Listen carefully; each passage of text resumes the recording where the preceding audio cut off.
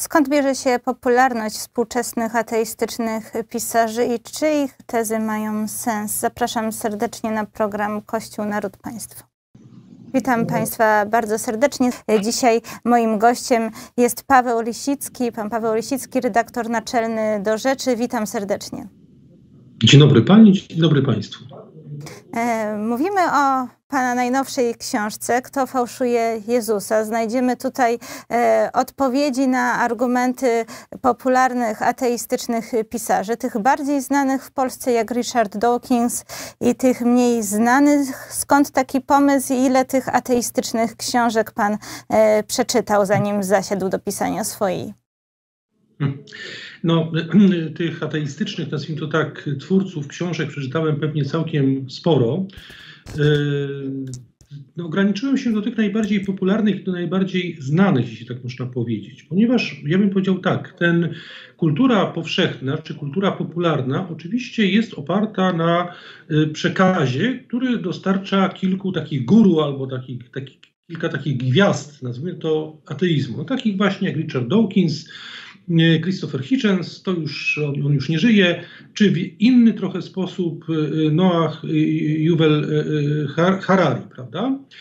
No i to są takie postacie, które sprzedają miliony książek, bądź sprzedawały, jeśli prawda, w przypadku Hitchensa, jak mówię, nie żyje, spotykają się, odwiedzają studia telewizyjne, występują w różnych debatach i tak dalej, i tak dalej. Są zwykle bardzo mocno promowani przez media, czyli powiedzmy cały taki mechanizm marketingowy, który sprawia, że do człowieka, który nie specjalnie zna swoją religię, nie ma wiedzy na jej temat, zwykle wyniósł coś tam z nauki katechizmowej albo z lekcji religijnej, nie zawsze pamięta dokładnie, co wyniósł. I potem styka się właśnie z kimś, kto jest mu przedstawiany jako współczesny mędrzec, znawca, człowiek nauki, badacz i tak dalej. I tam natyka się właśnie na masę stwierdzeń de facto uderzających w całą jego wiarę. No i taki człowiek oczywiście bardzo często tę wiarę już całkowicie traci, tak? no bo mu się mówi, że nowoczesna nauka, a wszyscy żyjemy w epoce skientyzmu, w związku z tym wszyscy wierzymy w naukę e, e, jako w źródło niemal objawione. No, współczesna nauka wykazała na przykład, że chrześcijaństwo powstało, albo Ewangelie powstały bardzo późno, albo że Ewangelie są zapisem pewnego rodzaju legend, mitów, y, jakichś bajek, baśni albo odczuć, niejasnych doświadczeń. I w zasadzie to, co zostało, czy to, co się przyjmowało jako słowo objawione, jest tak naprawdę ludzkim wymysłem. No i człowiek skonfrontowany z takimi właśnie głośnymi nazwiskami, wielkimi gwiazdami, wielkimi guru, nie bardzo wie często jak na to odpowiedzieć, przyjmuje to za dobrą monetę, te, te ich twierdzenia i krótko mówiąc wiarę traci, y, y, podporządkowuje się temu przekazowi. Ale to jest powiedzmy te, tych kilka nazwisk, o których tutaj wspomniałem, to jest ta pierwsza warstwa, jeśli można tak powiedzieć, albo ta najbardziej popularna. Jak się czyta książki właśnie, czy to Hitchensa, czy, czy, czy, czy Dawkinsa, czy innych oczywiście tak zwanych nowych ateistów, mówię tak zwanych, ponieważ nowość jest moim zdaniem w tym przypadku wyłącznie produktem marketingowym, PR-owym. Tam nie ma nic nowego, znaczy nie ma ani jednej tezy, którą ktoś z nich by postawił, która by tak naprawdę nie była tezą w jakiś sposób przejętą czy rozwiniętą już z okresu wieku XVIII i XIX, a jeśli oczywiście chcemy sięgnąć dalej w przeszłość, to te, ten pierwszy taki, y, pierwszy atak, czy pierwsza próba ataku na chrześcijaństwo w oparciu właśnie o takie pseudoracjonalistyczne y, podejście możemy to znaleźć u Celsusa, prawda, w takim y, piśmie, który był, był później cytowany, stąd je znamy, przez Orygenesa z przełomu II i III wieku po Chrystusie. No ale ograniczając się do epoki nowożytnej, ci nowi ateiści nic nowego nie mają i sami tak naprawdę też nie udają, że oni coś wielkiego odkryli, tylko opierają się na innych. I to jest ta druga warstwa, czy ta podstawa, jeśli można powiedzieć, współczesnego przekazu ateistycznego i ją tworzą y, powiedzmy już ludzie, których nie można tak łatwo no, przekreślić, albo inaczej, których tak łatwo nie można się pozbyć ich argumentów, tak jak w przypadku Hitchensa czy Dawkinsa, bo widać wyraźnie, że, że, że, że oni, że tak powiem, po powierzchni się tylko poruszają i, ich wiedza jest bardzo ograniczona, bardzo powierzchowna. Często za tą płytką wiedzą idzie bardzo duży radykalizm sądów, tylko sięgają do tak zwanych teologów ateistycznych albo nie wiem, czy kategoria teolog ateistyczny jest właściwą, no w każdym razie osób z pewnością mających wykształcenie i erudycję teologiczną, której używają przeciwko chrześcijaństwu czy przeciwko wiarygodności chrześcijaństwa. I takich postaci, ja o, o, o trzech takich głównie wspominam w książce, dokładnie staram się pokazać ich sposób myślenia.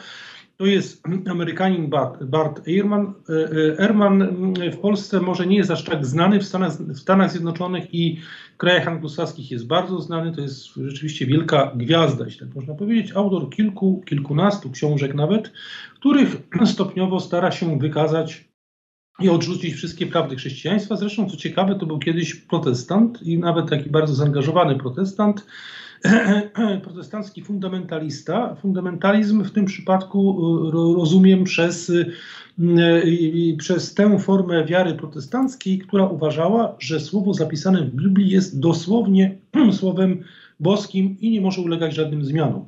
No i w momencie, kiedy Erman trafił w pewnym momencie na to, że różnego rodzaju późniejsze zapisy e, e, przechodzące, czy zapisy Nowego Testamentu nie są dokładnie takie same w 100%, uznał, że to jest dowód na fałszywość całej, całej Biblii. No to jest niestety właśnie ofiara fundamentalizmu protestanckiego, tak można by było powiedzieć. Jest też niemiecki bardzo znany teolog, też kiedyś protestancki, później stracił wiarę, tak zresztą jak w przypadku Hermana, Jeden i drugi od kilkunastu lat głośno o tym mówią. To jest Gerd Lüdemann, bardzo w Niemczech znana postać. Nawet y, to jest profesor, profesor y, kultury Nowego Testamentu na Uniwersytecie w Getyndze w Niemczech. Y, postać jest znana z tego, że początkowo był jednym z bardziej znanych, cenionych i lepiej się sprzedających autorów protestanckich, ale później, jak większość, jak wielu liberalnych protestantów, wyciągnął ostateczny wniosek ze swojego liberalizmu i po prostu okazało się, że jest że jest e, ateistą. Zresztą taka ciekawostka, był taki moment, kiedy, e, kiedy tenże Liedemann twierdził, że można być chrześcijaninem nie wierząc w zmartwychwstanie. No, taki, taki sąd utrzymywał przez kilka lat, po czym zgodnie z logiką systemu porzucił i ten sąd, napisał nową książkę o zmartwychwstaniu, gdzie próbuje dowieść, że zmartwychwstanie miejsca nie miało, dokonało się jedynie w ludzkiej świadomości. No i Geza Vermesch, bardzo znana też postać, tym razem z Oksfordu.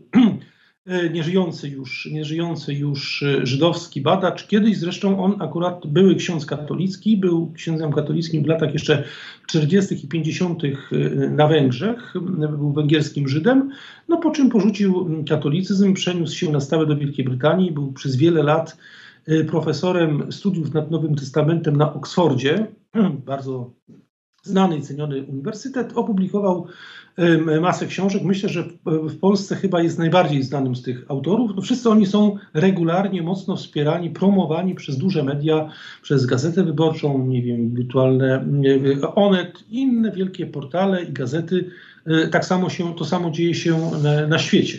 No i to jest to, nazwijmy tak, oni stanowią intelektualne zaplecze, w oparciu o które ci bardziej jeszcze popularni, bardziej znani, jak Dawkins czy czy Hitchens działali i rozpowszechniają te tezy, tak? Czyli o, tak to by mniej więcej wyglądało. A odpowiadając na pierwszą część pytania, co mnie skłoniło, no skłoniło mnie to, że mm, mam wrażenie, że to chyba możemy zaobserwować również w Polsce niestety, i to się ujawniło w październiku zeszłego roku, po tym jak Trybunał Konstytucyjny wydał wyrok ograniczający, znoszący przesłankę eugeniczną, jeśli chodzi o prawo, tak zwane prawo do aborcji albo prawo do zabijania, jeśli może być w ogóle prawo do zabijania mm, dzieci nienarodzonych. W każdym razie po raz pierwszy wtedy na dużą skalę doszło do y, protestów czy ataków na kościoły.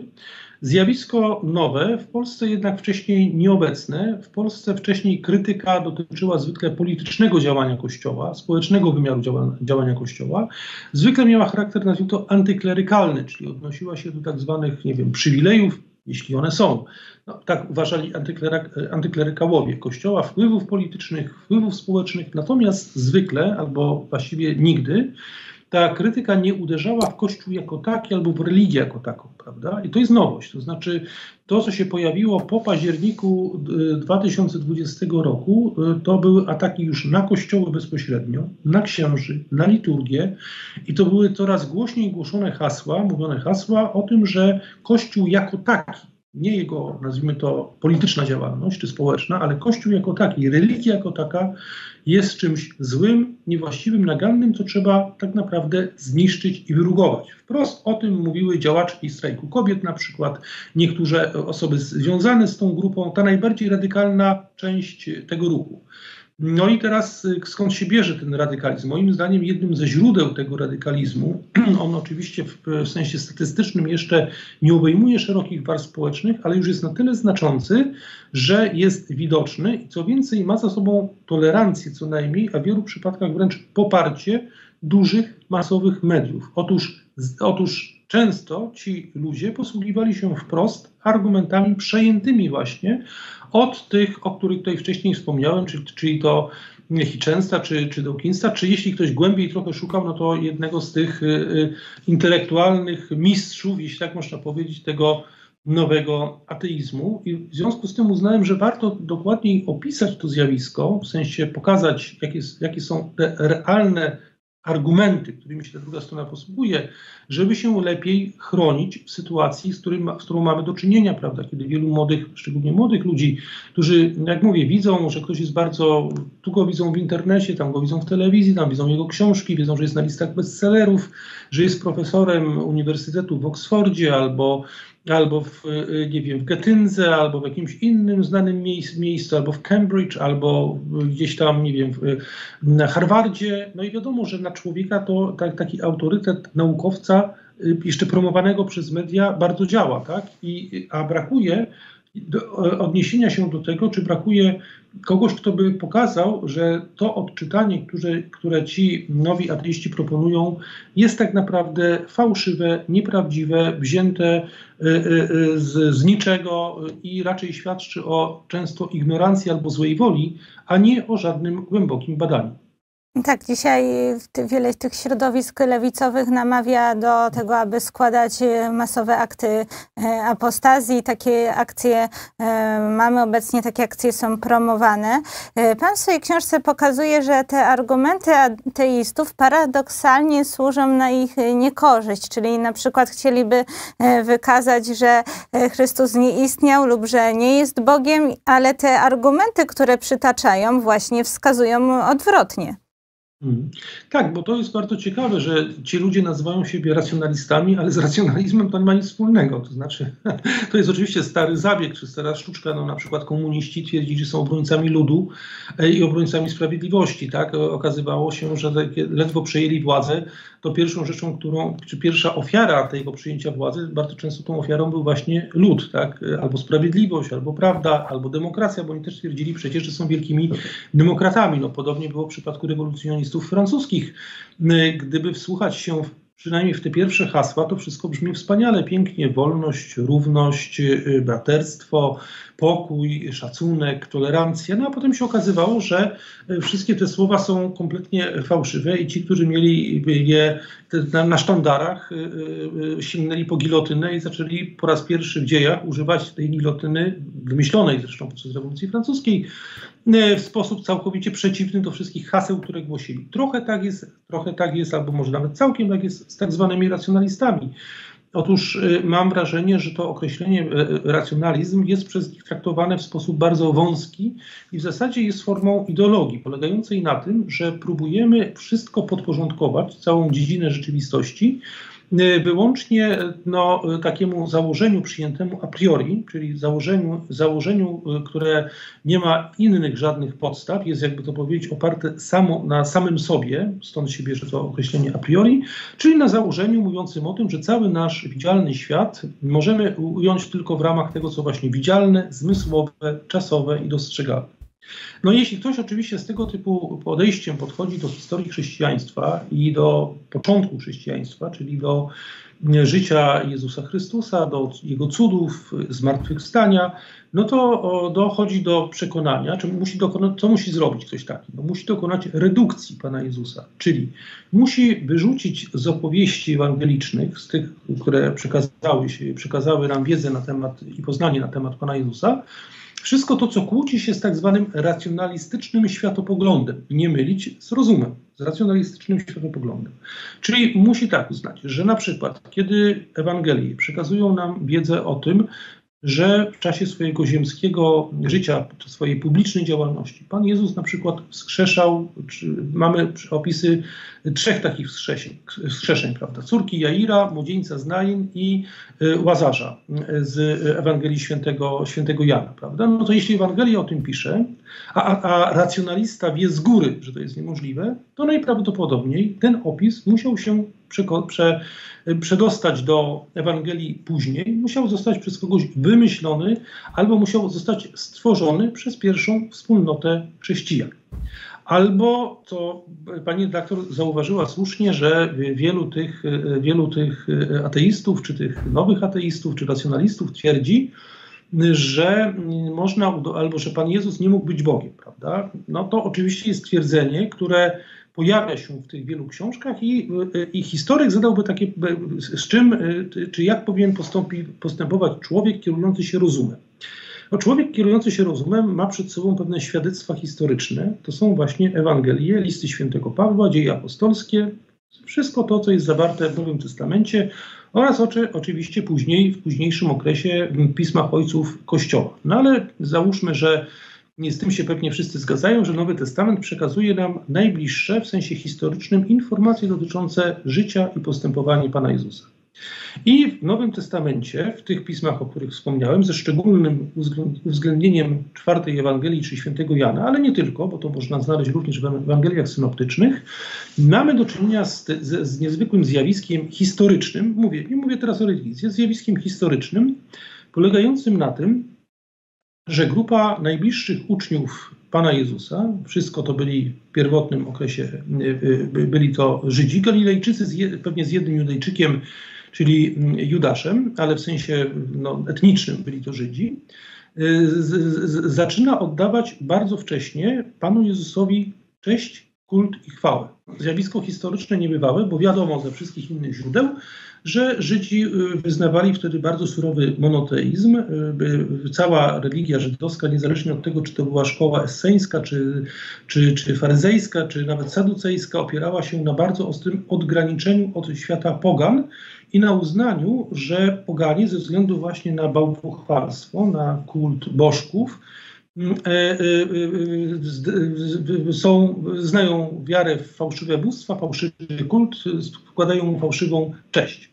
I w związku z tym judaizm oparty był na bardzo silnym przekonaniu, że prawdziwy kult, prawdziwa cześć religijna może być oddawana tylko jedynemu Bogu, a tak naprawdę jest jedno prawdziwe miejsce, gdzie można tego dokonywać, czyli świątynia jerozolimska i, i ofiary w tej świątyni składane. I teraz mamy zjawisko historyczne, polegające na tym, że z przekazów pochodzących z okresu lat, raptem kilkanaście, kilkadziesiąt lat po tym, jak Pan Jezus żył i działał, grupa jego uczniów, również tych, którzy przedtem nie byli uczniami, takimi jak święty Paweł, którzy go wręcz wtedy zwalczali, jeszcze nie był świętym, nie był Pawłem, był raczej Saulem. Y, w każdym razie y, oddaje mu polski kult, modli się do Pana Jezusa, y, uczestniczy w ofiarach na jego cześć, prawda? W, ofiarze, w ofierze stołu składa mu, składa mu ofiary, czyli, czyli dokonuje się czynności kultowe, czy czynności, które były zastrzeżone kiedyś dla, wyłącznie dla Boga Jahwe. No i historyk musi sobie zadać pytanie, jak to możliwe, prawda? Jak to się stało?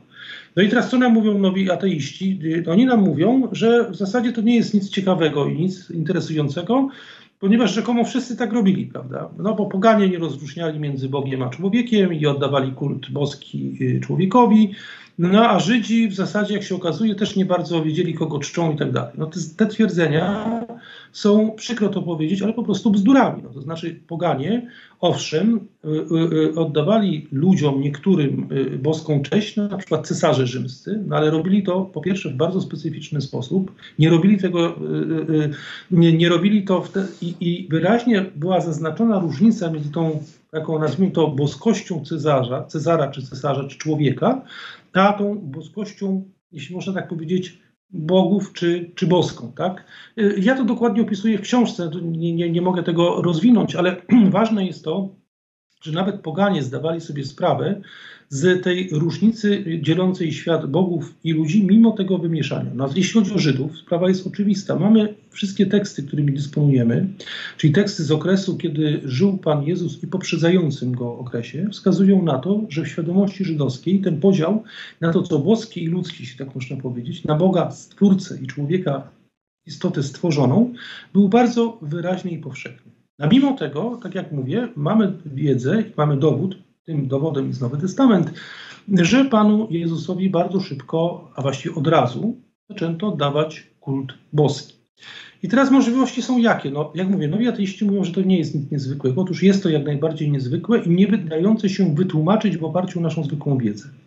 Więc z tego powinien płynąć wniosek, moim zdaniem jak najbardziej logiczny i racjonalny, że skoro mamy pewien skutek historyczny, tym skutkiem jest istnienie Kościoła, istnienie kultu Pana Jezusa, modlitwa do Niego, y, wiara w to, że Jezus jest, y, że Syn jest Synem Bożym, że jest na równi z Bogiem, Y, ta wiara, którą możemy znaleźć przecież w listach świętego Pawła już bardzo wyraźnie obecną, u świętego Jana, jak powtarzam, bardzo wyraźnie jest to pokazane chociażby w prologu, prawda? Na początku było słowo, u Boga było słowo i Bogiem było słowo. Słowo to jest oczywiście w tym przypadku Chrystus. No więc y, historyk powinien wytłumaczyć to zjawisko, tak?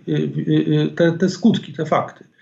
I y, y, y, najba, naj, naj, najbardziej racjonalnym, jeśli tak można powiedzieć, wytłumaczeniem będzie oczywiście wytłumaczenie mówiące o tym, że skoro taki jest skutek, to musi być proporcjonalna do niego przyczyna. No tą proporcjonalną do niego przyczyną mogło być tylko takie postępowanie Pana Jezusa, właśnie te cuda, o których mówiłem, właśnie proroctwa, które się spełniły, właśnie cud, cud zmartwychwstania, który sprawił, że w oczach tych jego uczniów zrozumieli, że oddawanie mu boskiej czci, boskiego kultu jest nakazem Bożym, że nie jest przeciw, że nie jest zerwaniem z, z tą ich wcześniejszą wiarą, tylko jest jej wypełnieniem, prawda? Jest tym, co nadeszło zgodnie z tym, co nadejść miało. No bo każda inna, każda inna próba wytłumaczenia bo musiałaby nas prowadzić, i to zresztą robią bez przerwy bez przerwy robią to nowi ateiści, do redukowania tej, tej kultu, tej wiary, tej, tej wiedzy historycznej, którą mamy i próba, próba określenia, że, czy próba znalezienia innych analogii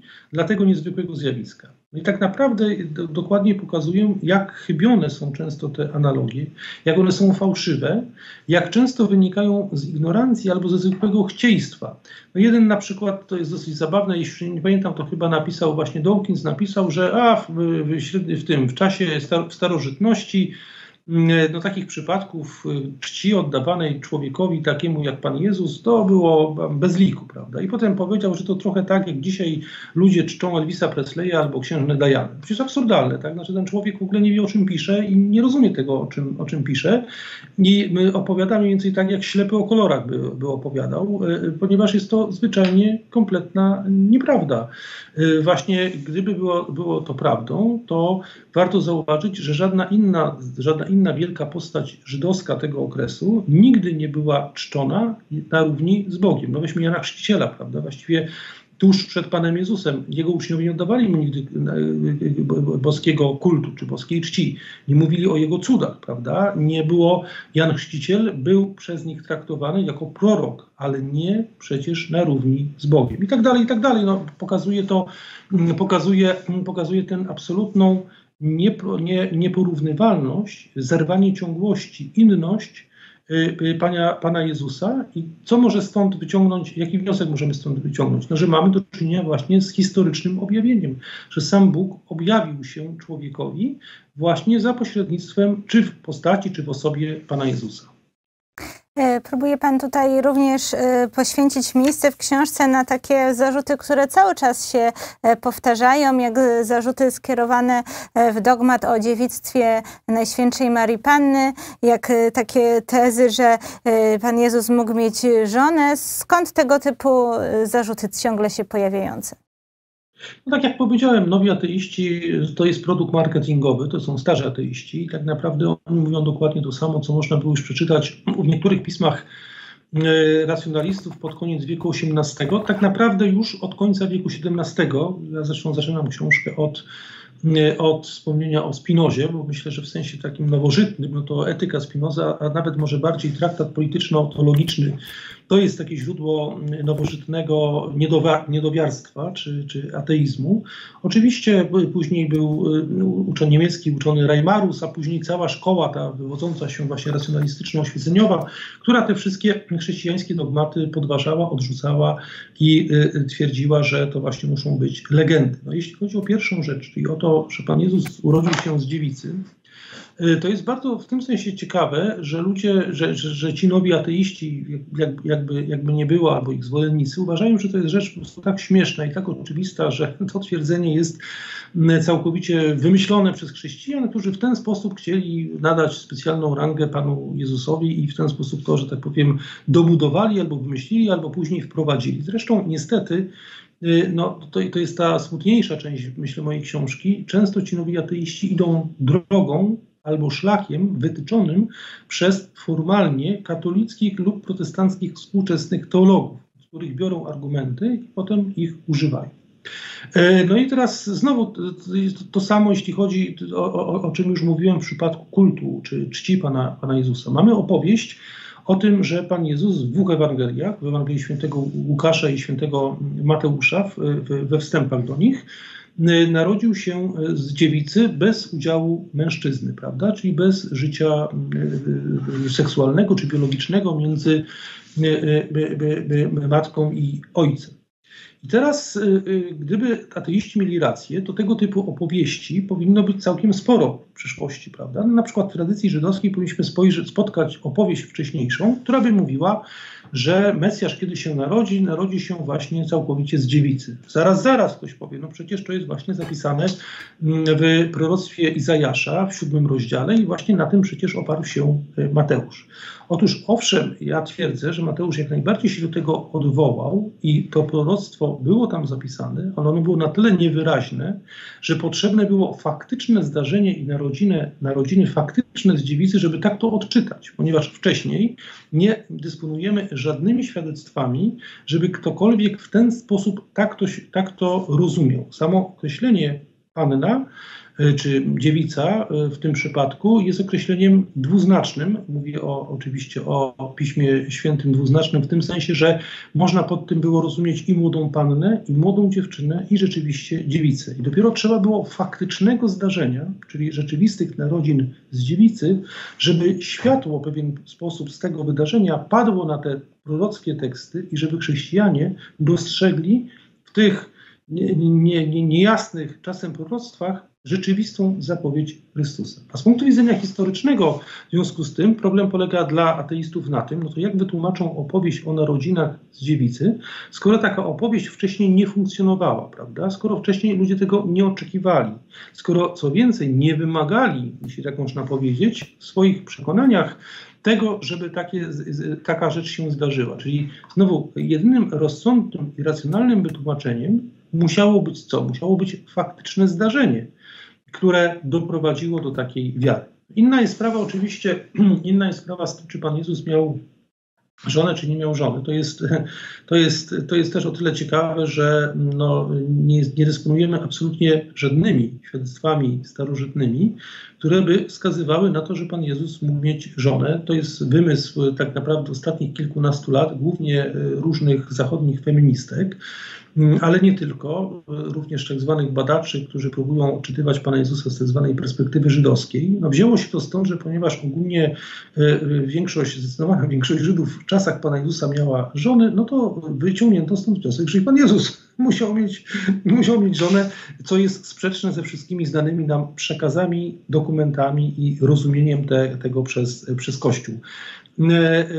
I to, jest, to zresztą dobrze pokazuje, do jakiego stopnia pseudonauka może zyskiwać sobie uznanie, prawda? Bo teza, że Pan Jezus miał żonę, jak mówię, nie mająca żadnego oparcia w żadnym dokumencie i w żadnym konkretnym źródle, nagle zrobiła wielką karierę, no bo o co chodzi? Chodzi o to, żeby Pana Jezusa uczłowieczyć bardziej, żeby pokazać, że On był tak samo jednym z nas, a co więcej jeszcze, żeby w ten sposób y, y, y, dać podbudowę pod tą feministyczną teologię, która od lat 70., 80. zdobywa zachodnie uniwersytety. No zresztą ja opisuję dokładnie taki jeden przypadek.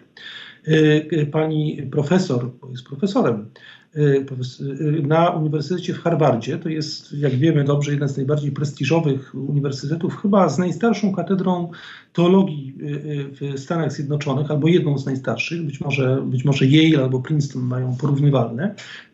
W każdym razie E, tam została właśnie szefową tejże katedry teologii, czyli osobą, która wy, wy, wy, uczy studentów, prawda, jest e, takim, można powiedzieć, wzorcem e, nauczania teologicznego. Pani Karen King, stało się to w roku bodajże 2010, 2009, dokładnie teraz nie pamiętam, no w każdym razie to, był, to były te czasy, która zresztą przedtem głównie robiła karierę jako znawczyni studiów kobiecych, no ale została w związku z tym, że amerykańskie uniwersytety stały się ofiarą tej, tej rewolucji mm, y, y, genderowo-feministycznej już w latach, jak mówię, 70. i 80. W związku z tym, no trochę tak jak z profesorami marksizmu i leninizmu, prawda, którzy robili wielkie kariery, okazało się, że oni tam nic nie mają do powiedzenia, no ale system sprawiał, że zajmowali bardzo ważne stanowiska uniwersyteckie i akademickie. I tak się dokładnie, mam wrażenie, wydarzyło z panią King, która ledwo została tąże Y, objęła katedrę teologii na Uniwersytecie w Harvardzie, ogłosiła, to było w roku 2012, podczas spotkania w Rzymie, było takie, było takie no, kolokwium, seminarium, konferencja właściwie, y, y, ludzi, koptologów, czyli ludzi zajmujących się myślą językiem koptyjskim, czyli staroegipskim, że odkryła starożytny papirus, na którym to starożytnym papirusie było rzekomo zapisane stwierdzenie Pana Jezusa, żono moja. No i to stwierdzenie żono moja miało się, odnosić, miało się odnosić do Marii Magdaleny. No i to wtedy wybuchł wielki skandal, awantura, prawda? Media się tym straszliwie pasjonowały na, na wszystkich wielkich portalach, we wszystkich gazetach. Ta informacja ukazała się na pierwszej stronie. Różni mądrzy i mniej mądrzy ludzie twierdzili, że to wielkie odkrycie, gigantyczne. Wprawdzie pani King twierdziła, że no, to jest nawet ona sama twierdziła, że to jest tylko koptyjska kopia gdzieś mniej więcej z IV wieku, że oryginał grecki pewnie pochodzi z wieku II po Chrystusie, no ale że to pokazuje jej zdaniem, że y, istnieli chrześcijanie, którzy od samego początku uznawali, że Pan Jezus ma żonę. Tak już brzmiało to rozumowanie. No i ja pokazuję w tym, w, tym, w tym fragmencie oczywiście swojej książki, że po dokładnych badaniach przeprowadzonych między innymi przez jednego z dziennikarzy, ale nie tylko, okazało się, że to jest po prostu wszystko humbug, tak, że najprawdopodobniej papirus i cały ten napis, na którym oparła się pani King, był y, sfałszowany. Mieliśmy do czynienia po prostu ze zwyczajnym, y, brutalnym fałszerstwem. Y, człowiek, który tego dokonał, przygotowywał to bardzo dokładnie i co śmieszniejsze, posłużył się jako takim źródłem kodem Leonarda da Vinci, prawda, więc no, lekturą co najmniej nienaukową, jeśli tak to można powiedzieć, dosyć, dosyć, kiepskim, dosyć kiepską powieścią Dana Brauna i natchniony tąże powieścią Dona Brauna wymyślił ten papirus, sprzedał go pani King, która go kupiła jako właśnie wielkie odkrycie i znalezisko i zaczęła głosić całemu światu, że Pan Jezus miał żonę i ona robiła wszystko na poważnie. No, najlepsze jest to, że mamy rok 2021. Ten e, e, artykuł, to śledztwo dziennikarskie bardzo dokładne, bardzo szczegółowe ukazał się już kilka lat temu. E, i no, nic się nie stało. Znaczy, pani King, e, tak jak była profesorem na Harvardzie, tak jest profesorem na Harvardzie, tak dalej publikuje, dalej występuje, dalej uczy i dalej jest wybitną i wielką specjalistką. Prawda? No, to pokazuje, do jakiego stopnia system e, nauki, nauk humanistycznych, ze szczególnym uwzględnieniem teologii, na uniwersytetach zachodnich stał się przedmiotem, jak mówię, tej, tej, tej, tej rewolucyjnej zmiany, kiedy na ważnych stanowiskach, ważnych miejscach pojawili się ludzie, którzy robią tam karierę nie dlatego, że coś nadzwyczajnego odkryli albo coś ważnego napisali, ale bo takie jest zapotrzebowanie ideologiczne i polityczne. No jeszcze jeden taki szczegół, który dobrze pokazuje sposób myślenia pani King, ja o tym piszę w znacznie szerszym kontekście, pokazując wiele innych feministycznych autorek, na przykład jej twierdzenie, że Ewangelii, tak zwane Ewangelie gnostyckie, to nazwa też jest swoista, bo to nie są Ewangelie, to są po prostu zapisy różnych mów, przemów, mhm doświadczeń, tak zwana Ewangelia Filipa, albo tak zwana Ewangelia Marii Magdaleny, albo najbardziej głośna Ewangelia Judasza. Otóż pani King twierdzi, że możemy tam znaleźć bezpośredni dostęp do życia Pana Jezusa, równy z tym, jaki dają nam cztery Ewangelie synoptyczne, co jest, jak mówię, twierdzeniem kompletnie niedorzecznym i absurdalnym. Gdyby takie twierdzenie wygłosił uczeń w klasie, to nauczyciel zwróciłbym uwagę, że się myli, a gdyby uczeń się przy tym opierał, to by go wystawił mu złą ocenę, albo by go wyrzucił z klasy, gdyby oczywiście uczeń dalej przy tym obstawał. Ale w dzisiejszych czasach pani King może rozpowszechniać te brednie, podobnie jak i inne ważne postacie i nie tylko, że z tego powodu nikt jej nie wyrzuci z klasy, ani nie da złej oceny, tylko dalej może brylować w mediach i opowiadać i występować jako specjalistka. No to jest właśnie jeden z tych przykładów, o których mówię. Ciekawa też jest y, postać tego Harariego. Jest tutaj przez Pana opisany jako zarówno Żyd, buddysta, weganin i ateista. No ciekawe, jak można e, te wszystkie rzeczy być Żydem i zarówno buddystą. Jego zdaniem można, ale to już jest chyba taki New Age. Czyli on twierdził, że i Buddha, i Jezus byli tymi, którzy obalili tradycyjny porządek i tutaj to porównywanie mm, Chrystusa, czy to do Buddy, czy to do e, innych proroków, proroków, czy nawet postaci fikcyjnych z hinduizmu jest bardzo powszechne. W Indiach e, nawet został e, przy współpracy z telewizją indyjską nakręcony taki film Jezus żył w Indiach, gdzie pojawiają się e, teorie, że Pan Jezus nie umarł na krzyżu, ale przeżył krzyżowanie, gdzie pojechał do Indii, jeszcze potem nauczał, potem zmarł. Więc tutaj bardzo wiele takich różnych ciekawych teorii. No ciekawe, że to właśnie jest albo te środowisko środowisko żydowskie, albo jakieś masońskie, new age'owe, albo jak tutaj pan wspomina, y, protestanci, którzy odeszli od wiary. Tak, no to jest oczywiście pan y, Harari, czy y, Noah Harari, no nie możemy go tak całkiem e, zbyć, ponieważ to jest człowiek, który sprzedał moim zdaniem w życiu więcej książek niż liczy w tej chwili ludność Polski. Więc, no panie doktor, to jest, to jest, to jest, no, e, że tak powiem, to nie jest już bestseller, to jest jakiś mega bestseller światowy. E, autor książki Homo Deus, autor książki o 27 chyba wykładów na temat przyszłości świata, autor książek dotyczących zarówno przeszłości gatunku ludzkiego, jak i jego przyszłości. No, Y, y, rzeczywiście mega gwiazda, mega guru w Polsce, również na pierwszych listach y, bestsellerów. To rzeczywiście bardzo zasadne pytanie, jak można być jednocześnie buddystą, ateistą i prawda, wszystkie te łączyć ze sobie elementy, no, to jest właśnie pan Harari osiągnął ten, tę, tę, zdolność, a właściwie nie tyle on, ile moim zdaniem bardzo dobrze prowadzona kampania reklamowa czy kampania marketingowa. Udzielił w Polsce zresztą, z, udzielał z całej masy wywiadów w Gazecie Wyborczej, Newsweekowi i innym wielkim pismom portalom, prawda, więc w tym sensie, no można powiedzieć, to jest, to jest rzeczywiście taki wzorzec współczesnego intelektualisty. Ja zresztą to, to całkiem ciekawe, bo pamiętam kilka lat temu, gdzieś już nie pamiętam, na jednym z lotnisk, jak to czasem bywa na, na lotniskach, jest chwila przerwy, bo miałem przysiadkę, i poszedłem do księgarni. Akurat tak się złożyło, że nie wziąłem ze sobą żadnej książki, więc coś sobie kupić. No i oczywiście na liście bestsellerów, to już mówię kilka lat temu, było na pierwszym miejscu, prawda, był jeden Harari, no, drugi Harari, jeszcze trzeci Harari. Myślę, Boże, no, zajmuję się, mam wrażenie, znam się nieco na kwestiach historii religii, filozofii religii i tak dalej. Nigdy, nigdy się z kimś takim nie zetknąłem. No to zobaczę, prawda, co tenże guru ma do powiedzenia i jakież tam bardzo mądre twierdzenia i perły myślenia odnajdę. I powiem tak, byłem zszokowany, po prostu zszokowany, że że, tego typu tandeta, tego typu myślowa tandeta może być traktowana przez kogokolwiek poważnie. Patrzę, człowiek jest, on jest tak profesorem Uniwersytetu Hebra Hebrajskiego w Jerozolimie.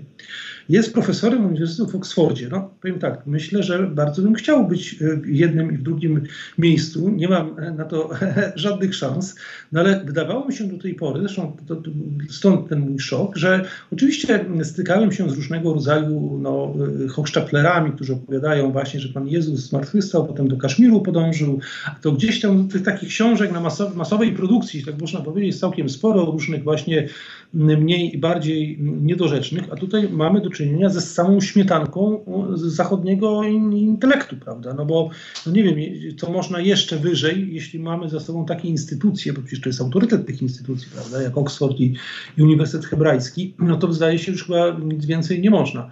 I, i, I, czyta się te jego y, opowieści na temat religii szczególnie, na temat przyszłości religii, na temat właśnie chrześcijaństwa. To jest takie dziecinne, prawda? Że no, człowiek no tak coś tam liznął, gdzieś usłyszał, jedno uchem mu wpadło, drugim mu wypadło, tu tam pamięta, ale nie wie do końca co pamięta. Wszystko jest takie, no poziom, szczerze mówiąc, wręcz szokującej często niewiedzy i, i ignorancji. jedyne co w zasadzie potrafi, to rzeczywiście mm, trzeba mu oddać, to wielka retoryczna zdolność łączenia różnych, y, czasem bezsensownych zdań pewne całości i opakowywania tego na takiej zasadzie, no, mędrzec się zadumał nad tym, jak świat nasz będzie wyglądał, bo człowiek to jest zwierzę to zwierzę to w zasadzie trzeba mu tylko tak jak w samochodzie wymienić części. Jak mu się wymieni części, to, to zwierzę będzie dobrze jechało, czyli będzie dłużej żyło. I on teraz, pan Harari nam powiedział, że to jest właśnie na tym chrześcijaństwo polega, że Pan Jezus przyniósł nam wiarę w to, że człowiek będzie nieśmiertelnym, a teraz współczesna nauka wymieni w nas części i będziemy też nieśmiertelni. No, zresztą no, to, jest, to jest wręcz, bym powiedział, że, że, że oczywiście, że troszkę przejaskrawiam, ale tylko troszkę. Naprawdę ci z Państwa, którzy sięgną po te, po te, po te, po to, te, te, książki. Ja do tego nie specjalnie namawiam, ale zakładam, że jak on sprzedał tyle milionów, więc na pewno jakaś może grupa naszych czytelników ma do tego dostęp. No, żeby, żeby sobie to sprawdziła, to to jest y, rzeczywiście nieprawdopodobny y, przykład no, zdolności marketingowych współczesnych mediów i zdolności kreacyjnych, kiedy człowiek bez y, realnej wiedzy i mądrości może być wykreowany na mędrca, na kogoś, kto jest dla nas punktem odniesienia. No i potem no właśnie rzeczywiście ten New Age jest tutaj bardzo charakterystyczny. To jest taki kocioł, do którego on tam wszystko może wrzucić, trochę buddyzmu, judaizmu, trochę chrześcijaństwa, trochę hinduizmu, trochę tam jeszcze czegoś innego, tu powie jakieś zdanie, tam inne zdanie, to nie, nie wszystko do siebie pasuje, ale prawda się dobrze sprzedaje. No tylko co, się, co jest, jaki jest tego wniosek z tego wszystkiego? bo wniosek jest tak naprawdę niezabawny, nieśmieszny, że w, że w wielu społeczeństwach zachodnich, jak mówię, w Polsce jesteśmy na początku, mam nadzieję, że ten początek się nie rozwinie, ale w wielu społeczeństwach zachodnich ten sposób myślenia, który widzi właśnie w chrześcijaństwie pewnego rodzaju jakąś aberrację, jakiś, nie wiem, rzut na zdrowym ludzkim ciele, jakąś formę niedojrzałej nauki musi zostać przezwyciężony. W to miejsce przyjdą eksperci, przyjdą ci technolodzy nowego życia, którzy nas, że tak powiem, odpowiednio skonstruują od nowa, stworzą nowy typ trans człowieka czy nadczłowieka. No, Nietzsche mówił o nadczłowieku, Harari mówił o transczłowieku, jeszcze inni mogą mówić sobie prawda, o innych formach tego człowieczeństwa. I w, y, y, wszystko jest to dążenie, żeby zamiast albo w miejsce prawdziwego Stwórcy, miejsce Boga stworzyć czy postawić człowieka, który wykreuje cały ludzki świat od nowa. No, to oczywiście musiało, musi pociągać ze sobą usunięcie i wyrugowanie chrześcijaństwa z przestrzeni publicznej, z przestrzeni kulturalnej i cywilizacyjnej. No to myślę, że to doskonale widzimy, prawda? Chrześcijaństwo w ich rozumieniu może przejrzeć albo jako forma jakiejś takiej niedojrzałości, albo jako element takiego właśnie, no nie wiem jak to określić, takiej wielkiej zupy, wiem, kap, y, której do tej zupy wszyscy tam wrzucają po trochu, trochę tam y, buddyści, trochę hinduiści, trochę chrześcijanie, trochę, trochę Żydzi, wymieszamy tą, tą zupę i to będzie ta nowa wiara e, religijna. No ale to oczywiście nie ma nic wspólnego z żadną wiarą religijną, jest tylko zapisem mm, tej, tej, tej, tej, tego ludzkiego pragnienia kreowania samych siebie. Panie redaktorze, na koniec taka moja refleksja. Z jednej strony bestsellery e, wydawane przez e, ateistów, ale jeszcze na początku XX wieku liczne publikacje apologetyczne.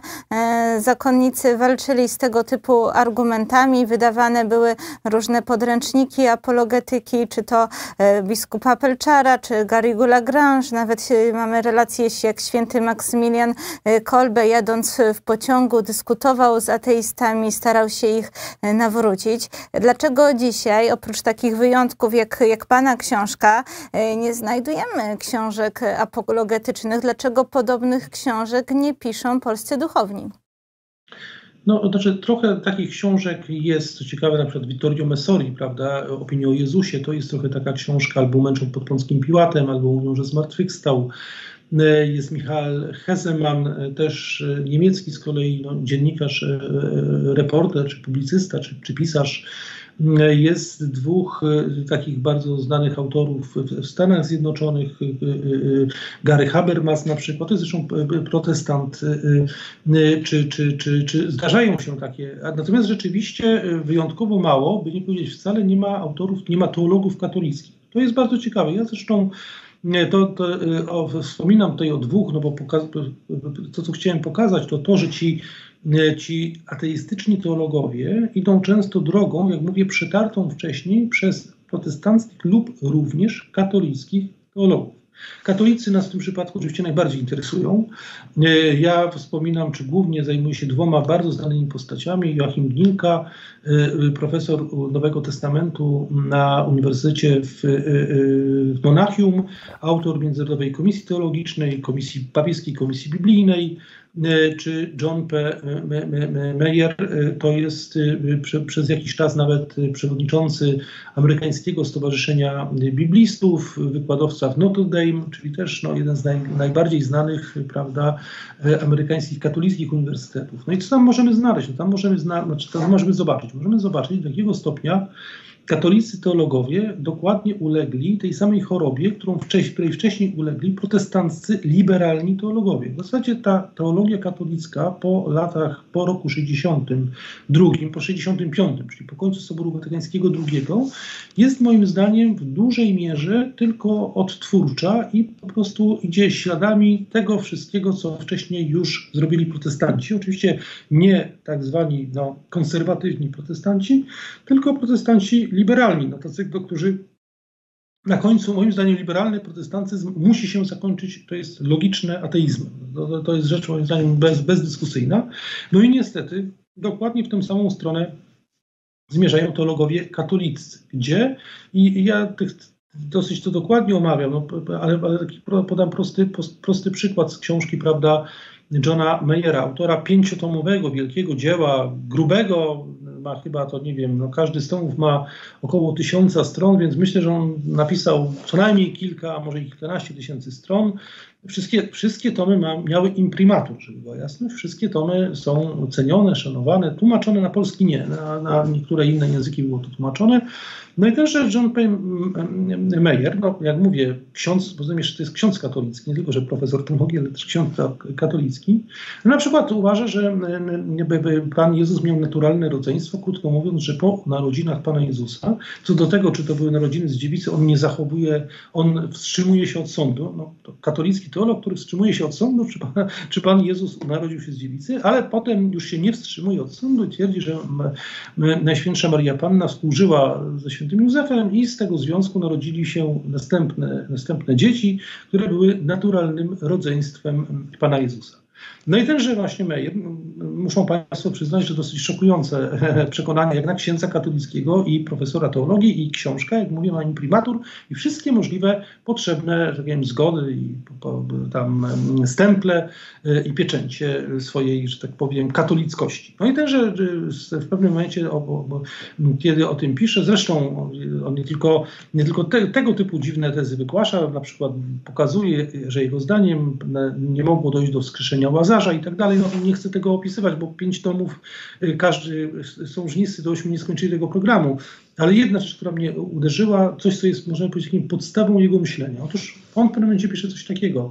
W związku z tym, że chrześcijanie uwierzyli, albo inaczej, że uczniowie Jezusa uwierzyli w jego zmartwychwstanie, to ta wiara w zmartwychwstanie rzutowała potem na cały obraz, jaki mieli w swojej pamięci Pana Jezusa. I w związku z tym nie mamy żadnej wiarygodnej, żadnego wiarygodnego przekazu na temat tego, tak naprawdę, jak życie, działanie, słowa Pana Jezusa wyglądały, ponieważ wszystko jest skażone wiarą w zmartwychwstanie. Bo jak my, gdyby nie, wniosek jest prosty, gdyby nie wiara w zmartwychwstanie, to może byśmy mieli jakąś wiedzę na temat historycznego, prawdziwego Pana Jezusa. A tak to my nie, nie, nie mamy takiej wiedzy i musimy nieustannie dokonywać rozdziału między tym, co y, y, historycznie wiarygodne, a tym, co jest dziełem naszej późniejszej, naszej, czyli chrześcijańskiej wiary.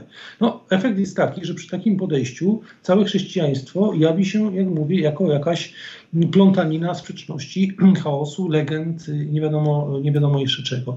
No i, i, i mówię, nie mówię tutaj w żadnym wypadku o kimś, kimś na marginesie, prawda? Nie o jakimś tam, no nie wiem, profesorze z mało znanego albo kontrowersyjnym, kontrowersyjnym pisarzu. Nie, mówię o kimś, kto tak naprawdę wyznaczał dużej mierze i nadal wyznacza E, e, dużą część e, amerykańskiego myślenia, katolickiego amerykańskiego myślenia, prawda?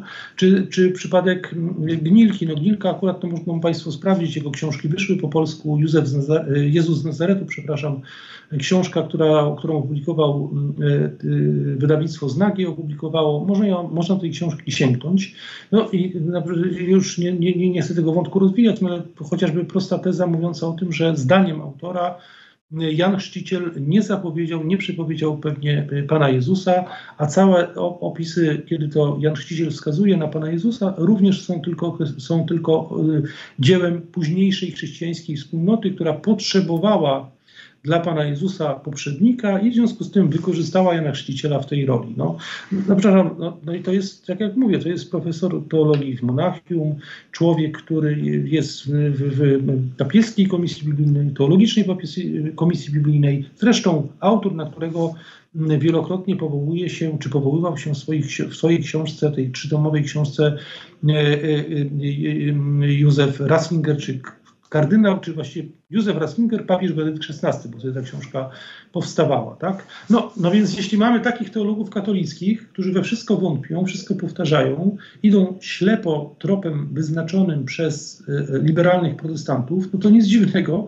że nie, nie możemy znaleźć tam żadnej apologetyki. Oni się tak naprawdę często zgadzają, moim zdaniem, z tym, co utrzymują ci nowi ateiści, tylko boją się tego tak wprost powiedzieć, tak mocno nazwać. Tak? Raczej starają się to, e, e, że tak powiem, rozsiewać mgłę niepewności, chaosu i, i niewiary, niż stawiać te tezy tak mocno, jak to robią właśnie Dawkins, czy, czy, czy właśnie Hitchens, czy inni. No, zresztą to jest całkiem logiczne, bo jeśli się uda dałoby udowodnić, a to przecież tak naprawdę robią, że, że duża część tego, co Ewangelie przypisują Panu Jezusowi, jest tak naprawdę dziełem późniejszym. Na przykład słowa, jego, jego nauczanie są włożone w usta, cuda są wymyślone później. No to przepraszam, chrześcijaństwo, czy jawi się jako, jako religia autentyczna i wiarygodna? Nie, no nie jawi się, tak? Czyli ateistyczny wniosek w tym przypadku byłby prawdziwy. Ale jak mówię, no, teologowie katolicy mm, y, mają przedziwną w związku z tym zdolność łączenia tych, tej, tej, tej, tego chaosu i tej niepewności z y, nazywaniem tego bardzo osobliwym żargonem, który pozwala ukryć, że de facto bardzo często również reprezentują stanowisko przeciwne wierze. No dlaczego robią taką karierę? Jak to się stało? Jak to jest możliwe, że mają taką pozycję?